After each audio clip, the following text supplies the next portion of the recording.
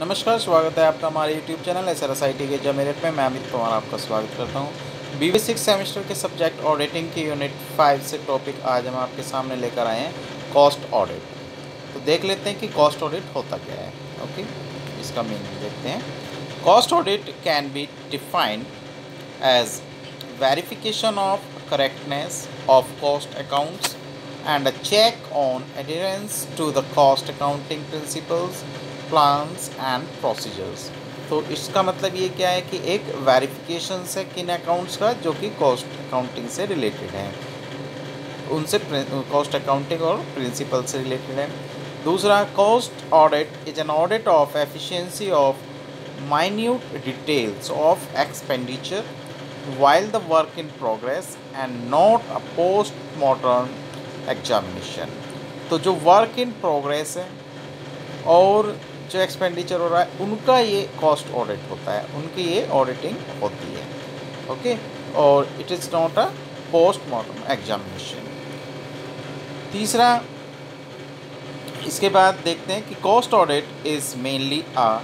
preventive measure a guide for management policy and decisions in addition to being the barometer of performance तो cost account cost audit क्या है? वो एक preventive measure है और एक गाइड है for management policy and decisions का ओके और in addition to being the parameter of performance कि परफॉर्मेंस का कोई पैरामीटर ये नहीं है ओके फिर इसके बाद देखते हैं ऑब्जेक्टिव्स कि इसके ऑब्जेक्टिव्स क्या हैं? कॉस्ट ऑडिट के ओके सबसे पहला ऑब्जेक्टिव है to detect errors and to prevent frauds and possible misappropriations, to verify through detailed exam examinations that the cost accounts are maintained in accordance with the principles, to verify the adequacy of the books of accounts and records related to cost, कि errors को find करना जो cost accounts हैं उनके examination uh, करना दूसरा to verify the adequacy of the bank of the book of accounts and records related to cost okay कि जो बुक्स ऑफ़ अकाउंट है, उनको वेरीफाई करना है। तो ये ये ऑब्जेक्टिव हुआ। इसके अलावा भी कुछ ऑब्जेक्टिव में देखते हैं। टू कंट्रोल अनडिज़ायरेबल प्रैक्टिसेस जो अनडिज़ायरेबल प्रैक्टिसेस हैं, उनको कंट्रोल करना। To determine efficiency levels at which an enterprise में ऑपरेट इफेक्टिवली तीसरा to see whether the company is adequately manage तो इन ऑब्जेक्टिव को भी उसमें फॉलो किया जाता है कि अनडिज़ायरेबल डिज़ायरेबल जो प्रैक्टिस है, उनको कंट्रोल करना डिटरमाइन एफिशिएंसी करना levels at which an enterprise में ऑपरेट इफेक्टिवली और तीसरा है to see whether the company is adequately manage कि वो ठीक से मैनेज हो रही है नहीं। इसके बाद अब बात करते हैं एडवांटेजेस ऑफ़ कॉस्ट ऑडिट तो देखते हैं सबसे पहले कि मैनेजमेंट के लिए क्या ऑब्जेक्ट है एडवांटेज है इनके okay helps management to regulate production provides reliable cost data for managerial decision check on the role of uneconomic unit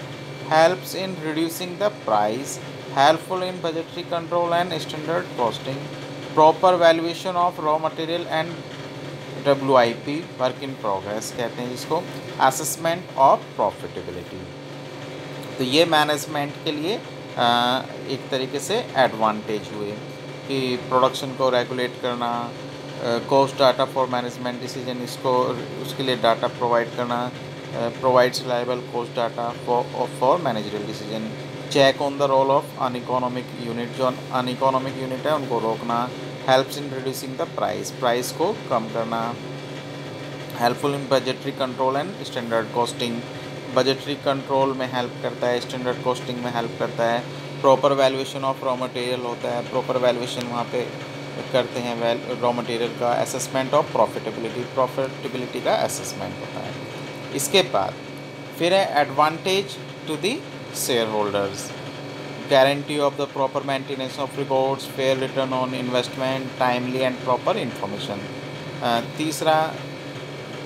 advantages to customers helps in fixation of fair price